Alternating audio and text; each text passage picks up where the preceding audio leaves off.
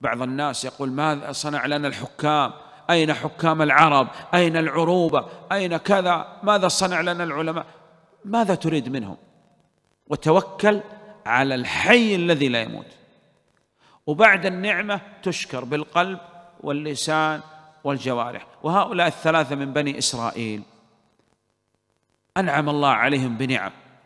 الأول والثاني كان منهم كفر للنعمة بالقلب واللسان والجوارح.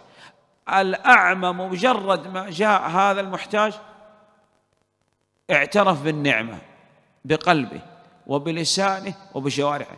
قال فوالله لا أجهدك اليوم بشيء أخذته لله. تأخذ لله؟ خذ. شكر بالقلب وباللسان وبالجوارح. صلى الله يجعلني وإياكم من الشاكرين. نعم.